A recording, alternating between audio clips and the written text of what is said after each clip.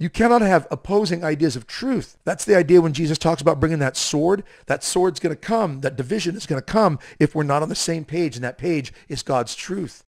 So when it comes to this particular subject, again, understand everybody is a child of God. Everybody is a child of God. The love for that, that truth, that dignity is a child of God must be there. It's not condemnation, right? It's not that at all.